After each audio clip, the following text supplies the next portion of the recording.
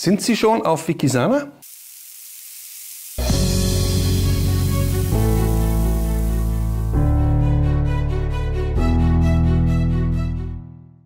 Herzlich willkommen, liebe Zuschauer, heute zu unserem Format auf der Suche nach dem Sinn des Lebens. Ich habe heute Annette Müller hier. Sie kennen sie bestimmt schon. Sie hat wirklich die Heiler ausgebildet. Schon seit fast 20 Jahren begleitet sie Menschen auf diesem Weg und sogar auch über die Grenzen. Es werden wirklich in großen Gruppen in Mexiko, Sri Lanka Menschen geholfen, die ja auch kein Geld haben, unter Schmerzen leiden. Und über diese wundervollen Projekte sprechen wir heute. Bleiben Sie dran. Hallo, liebe Annette, schön, dass du da bist. Mm, hallo, liebe Corinna, es freut mich sehr, dass ich heute über mein Herzensprojekt Heiler ohne Grenzen sprechen mhm. kann. Das ist auch wirklich was ganz Besonderes. Ich, ich finde es sowieso faszinierend, weil man ja immer dieses, dieses Heiler, da denkt man, das ist jetzt irgendjemand Verstaubtes, der sich kein, weißt du, was ich meine? So, das ist halt so ein Bild, ja. Und, und du bist wirklich auch eine Frau, die so viel bewegt hat, Unternehmerin, ähm, die erste Klinik eröffnet hat in Deutschland und mhm. dann die ganzen Heilerausbildungen, dann wirklich diese Riesenprojekte managt. Da gehört ja auch einfach ja eine unglaubliche Power dazu oder die Klinik am Lago Maggiore jetzt, oder? Wo auch noch, ja. Mhm. Unglaublich. Also ich bin wirklich immer fasziniert. Umso schöner, wenn du uns heute mal berichtest, was jetzt eigentlich gerade so läuft, weil es gab ja auch ein bisschen Break durch die letzten ja, zwei, genau. drei Jahre. Mhm. Mhm. Also der Break war natürlich, wie wir alle wissen, März 2020. Ich kam gerade aus Sri Lanka zurück und hatte dort eben Heiler ohne Grenzen vorbereitet für den Januar 21. Es haben sich schon ganz viele angemeldet gehabt und dann war eben der lange Break da und jetzt können wir sozusagen wieder loslegen.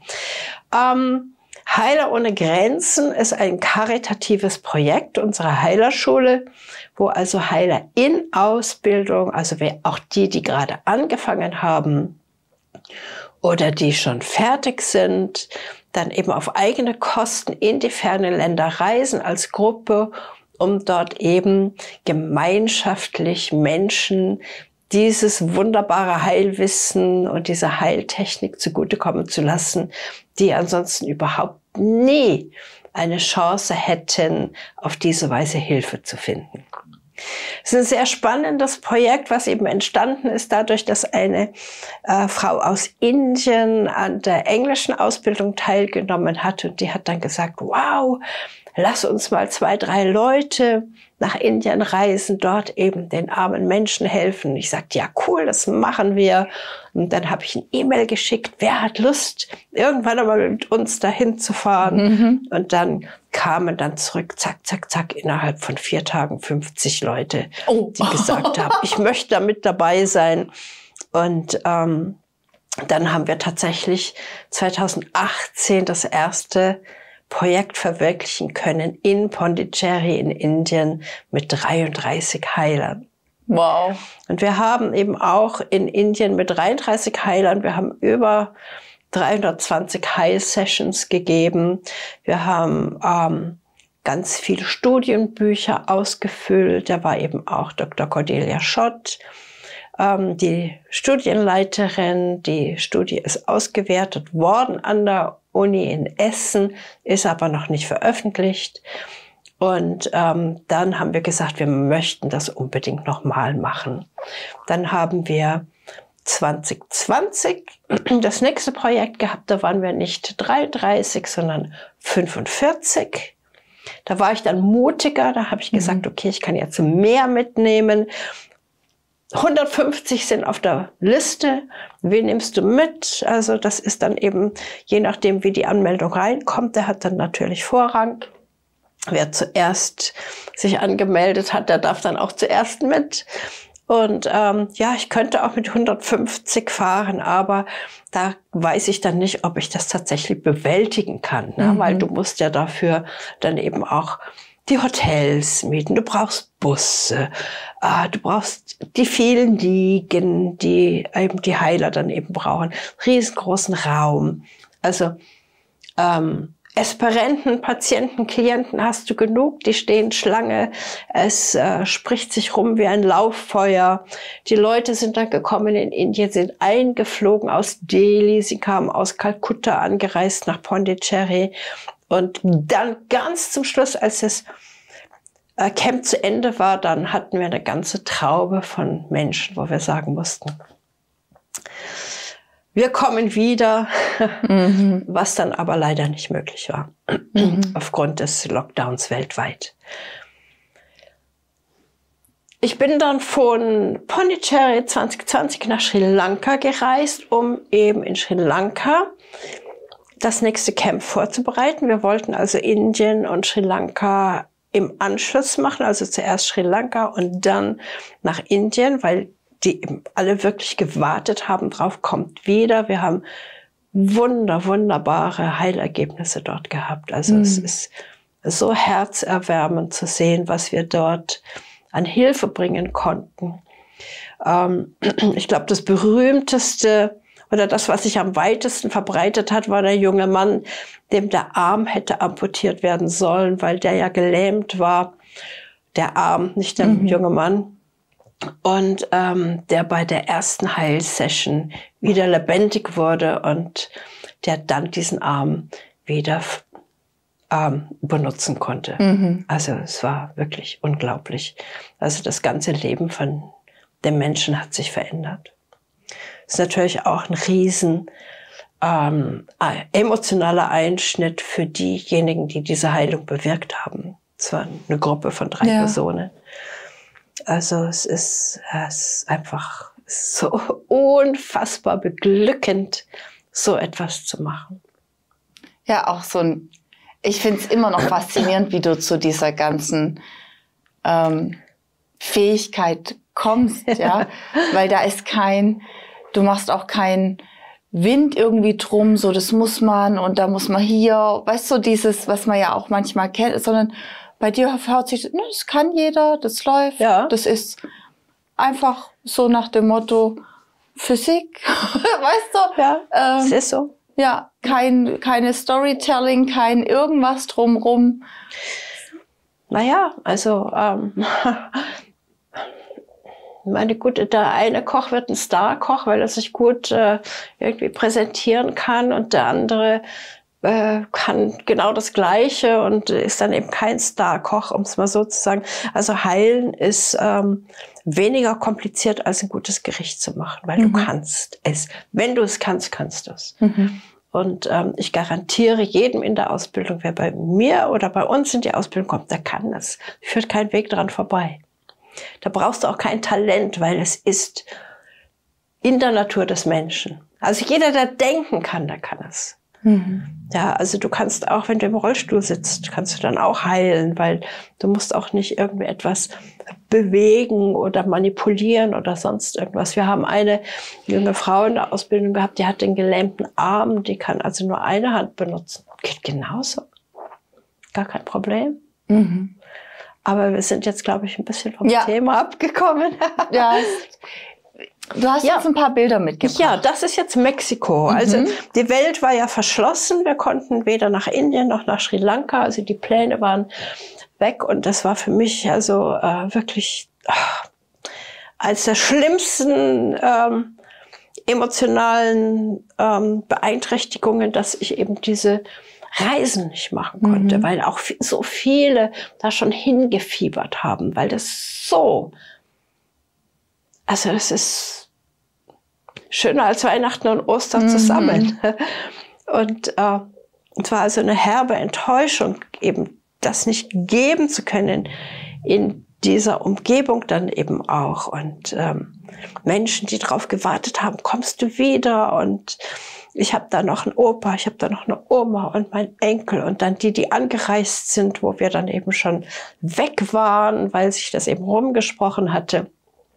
Das tut ja natürlich in der mhm. Seele weh. Und ähm, nur über Fernheilung, das ist auch nicht das Gleiche. Ne? Das ist, ähm, das ist schon die menschliche Begegnung, die zählt da schon sehr viel. Die ist da schon sehr ausschlaggebend auch. Mhm. Und ähm, dann hat sich eben rausgestellt, Mexiko ist offen. Ja, also Mexiko, keine Einreisebeschränkung, super, jeder kann dahin. Du kannst auch ähm, äh, ohne irgendwelche mhm. schlimmen Voraussetzungen eben dorthin reisen. Und ähm, dann habe ich gesagt, okay, dann fahren wir nach Mexiko. Und hier haben wir dann jetzt aus ähm, 2021 das Bild im Januar in San Miguel de Allende eine kleine Gruppe, weil es war nur ein kleines Hotel zur Verfügung. Und wir haben dort eben dann auch, waren wir 21 Tage mit Anreise, Abreise, vielen Unternehmungen und ganz, ganz wunderbaren Heilsitzungen, die wir da gemacht haben. Und es ist natürlich auch eine Bombenstimmung. Ja, das glaube ich. Schauen wir mal das nächste Bild an. Ja. Genau. Auch Männer können heilen. Da siehst du, schau, das ist die Männertruppe. Okay. Das war Pondicherry 2020. Mhm. Da wo eben 45 da waren und das ist die ganze Männertruppe, die eben dort auch mit wunderbaren Ergebnissen und so enthusiastisch und so glücklich gewesen ist, um eben auch dort zu heilen. Also es ist nicht nur zwar frauenlastig, aber du siehst, mhm. Da gibt es auch sehr viele Männer. Ja, du hattest ja auch schon der ein oder andere mit im Interview. Genau. Ja.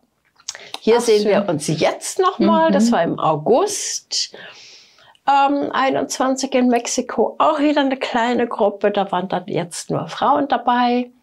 Und äh, da hatten wir auch wieder eine richtig tolle Zeit. Mhm. Also schön. Genau.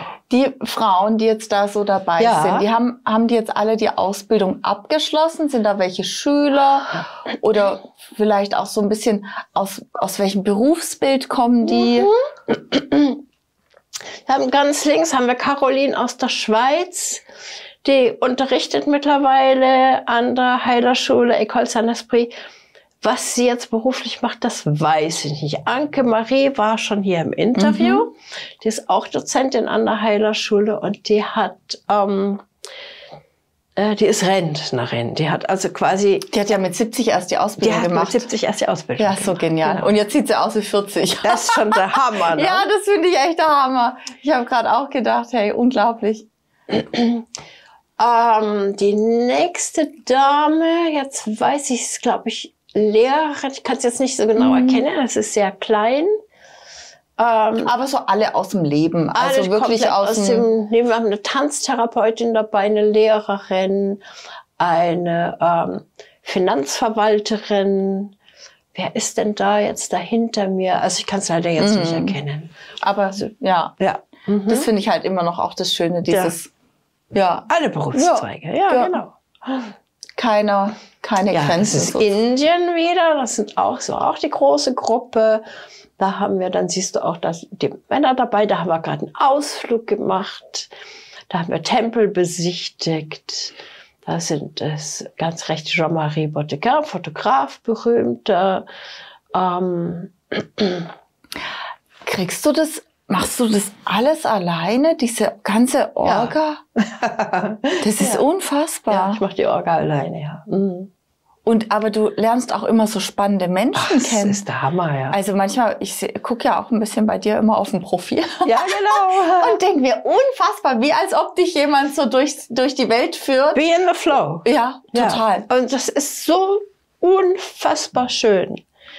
Ähm, da kann ich also jetzt gleich dazu sagen, wie bin ich überhaupt in Mexiko gelandet? Ja. Also in Mexiko gelandet bin ich deshalb war eine Dame, die die Ausbildung, die englische Ausbildung auf Mallorca machen wollte, nicht einreisen durfte, obwohl die Ausbildung stattfand, wegen dem Lockdown. Und die hat mir dann eben dieses Hotel in San Miguel de Allende vermittelt. Mhm. Warum genau dieses? Weil es das einzige Hotel mit Fußbodenheizung ist. Aha. Und San Miguel de Allende ist bitterkalt im Winter, das war ja im Januar. Wir haben ja eben einen Ersatz für den Januar gehabt, weil wir ja nicht nach Sri Lanka und auch nicht nach Indien konnten. Und ähm, wegen dieser Fußbodenheizung sind wir eben im Casa Angelitos, also im Casa der kleinen Engel gelandet. Und ähm, das ist jetzt eine permanente Einrichtung. Also wir sind jetzt, haben uns vorgenommen, jedes Jahr im August mit der kleinen Gruppe in San Miguel de Allende eben ein Heilcamp zu machen. Mhm. Das nächste steht schon und das ist schon ausgebucht. Mhm. Also von, nicht von den Menschen, die geheilt werden wollen, ausgebucht, sondern von den Heilern, die mitreisen werden. Da ist es schon ausgebucht. Genau. Schön. So kam das. Und hier eben, ich bin ja viel im Social Media unterwegs und es ist mir eben auch wichtig mitzuteilen, was wir für Fähigkeiten haben, wir Menschen, wie großartig wir sind, dass wir eben von dieser Lüge, dass wir klein und unbedeutend und nichts mhm. und Opfer sind, wegkommen und indem wir eben die Großartigkeit erleben und erfahren, ähm, da ist eben ein Herr Paul Müller, also wir mhm. sind nicht verwandt, aber mhm. wir heißen beide Müller mit Nachnamen, auf mich zugekommen und sagte, hey, Sri Lanka ist direkt gegenüber von Pondicherry, komm doch mal rüber uns besuchen. Und ähm, das habe ich natürlich nicht ernst genommen zuerst, ja klar. Dann hat er sich immer wieder gemeldet und dann hat noch jemand anders aus Sri Lanka angefragt, dass wir eben dort ein Camp machen. Dann habe ich gesagt, na ja, angucken kannst du dir das ja mal. Dann habe ich dann gleich am ähm, nächsten Tag den Herrn Paul Müller mit seiner Frau Jessie getroffen und das war's dann. Also da gab es dann kein Ausruhen mehr und ja. da gab es dann keinen Strand und dann gab es auch ansonsten nichts außer er hat die perfekte Location und dann hat er mich dahin gebracht und mit anderen vernetzt und dann habe ich gesagt, ja, also diese Location in Sri Lanka, man kann sich das nicht vorstellen. Das ist in Colombo. Da hat also ein Filmemacher, der sehr betucht ist, der hat also einen alten Königspalast nachgebaut, um das als Filmstudio zu verwenden und dort diesen Film Siddhartha Buddha zu drehen. Und das ist also der Königspalast, in dem Siddhartha als Kind groß geworden ist.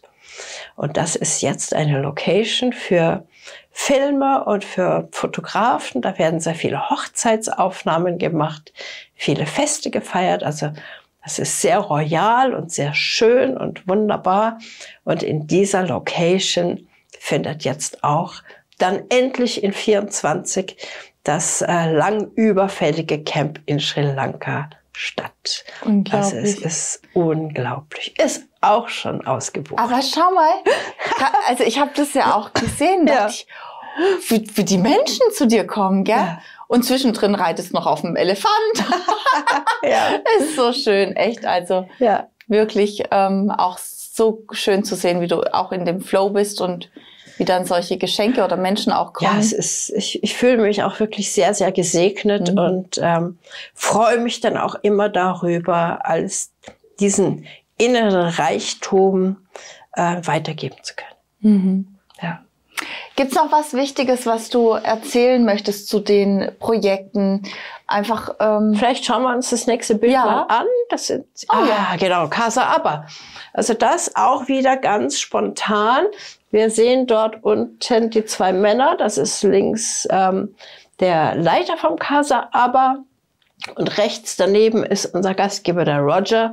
Und Roger engagiert sich ähm, für die Menschen, für die Geflüchteten aus den Las Americanas, also aus mhm. Südamerika, die also diese ganz gefährliche Reise auf äh, dem Güterzug La Bestia, also die Bestie, antreten, um eben nach ähm, in die USA zu gelangen. Und da spielen sich sehr viele Dramen ab. Die Menschen fallen runter, geraten unter den Zug, verlieren Gliedmaßen oder sie werden runtergestoßen, weil sie Schutzgelder nicht bezahlen oder sonst irgendwie was. Also es ist, es ist un unglaublich, was da für Schicksale dranhängen. Und da haben wir natürlich Menschen wirklich unglaublich helfen können, die eben frisch amputiert wurden, die eben an diesen amputierten Stellen wahnsinnige Schmerzen haben, die Phantomschmerzen und also es, und auch eben die Traumatisierungen. Das ist schon. Ähm, Aber ist natürlich auch eine Challenge für euch, weil wir kommen ja jetzt hier aus dem aus einem behüteten genau. Umfeld. Ja. Und dann siehst du auf einmal sowas. Wie ging es da den Heilern? Ähm, dadurch, dass du ja merkst, du bist nicht ohnmächtig, Mhm. sondern du hast Mittel, ein Leid, was du nicht mehr verhindern kannst, weil es schon geschehen ist, zumindest zu lindern, hast du eine ganz andere Einstellung. Mhm. Und du weißt zu schätzen, wie gut es dir selber geht. Mhm. Ja. Also es ist sehr, sehr positiv. Also du bist nie in der Verzweiflung. Du bist nie in dieser Opferhaltung. Du bist nie in dem, ich kann nichts tun. Sondern ja, das Kind ist in den Brunnen gefallen und jetzt kannst du dich um dieses Kind kümmern. Du musst nicht zuschauen, wie es untergeht. Das ist schon, ist unbezahlbar. Mhm. Echt beeindruckend. Wenn man sich da jetzt noch ein bisschen reinlesen möchte, schlau machen oder selber Heiler werden möchte, kann man sich da ein bisschen mal schlau machen, reinlesen in die Thematik. Wir haben ein Buch, Herz übers Abenteuer, das hat äh, Maximilian Lieschel, ein Wirtschaftsjournalist, geschrieben. Der war beim ersten Camp in Indien mit dabei als objektiver Beobachter und hat eben seine Beobachtungen aufgeschrieben. Es ist ein wunderschönes Buch, von einer ganz anderen Sicht ausgeschrieben. Also jemand, der mit Heilen gar nichts zu tun hatte, völlig fremd da hineingeraten ist. Und das ist auch etwas, was ich so spannend finde, dann eben auch Menschen mitzunehmen, die eine kritische Haltung haben und sagen, ja, guckst dir erstmal an und mach dir dann ein Bild und ich habe das Standing zu sagen, du wirst überrascht sein. Mhm. Und ähm, dann eben auch unter www.heilerohnegrenzen.de, also heiler minus ohne Grenzen, ohne minus Grenzen.de auf der Webseite oder dann eben über die Schule selbst www.ecole-san-esprit.de kann man auch schauen. Haben wir da vielleicht noch ein Bild? Ja, es ist wieder die Ausflugstour in den Tempel, ist natürlich auch ganz toll. Und die Gruppendynamik, die entsteht. Ja. Der Zusammenhalt. Also da gibt es nach so vielen Jahren heute noch so Gruppierungen, die sich regelmäßig treffen Mhm. und ähm, auch Besuche von Indern bei Menschen hier in Österreich und in Deutschland, die dann zufällig ähm, sozusagen hierher gereist sind und haben dann eben ihre Heiler besucht. Ach, schön. Das ist total schön, ja. Klasse. Haben wir noch ein Bild? Gucken wir mal weiter. Ah, ja, das sind wir in Mexiko. Da sieht man so richtig, hey cool, schau an, da haben wir alle Mexiko-Hüte auf. Also schon toll. Super, voll die Engel. Ja. Engel am Reisen. Was haben wir noch? Ja, so ist es, genau. Ja.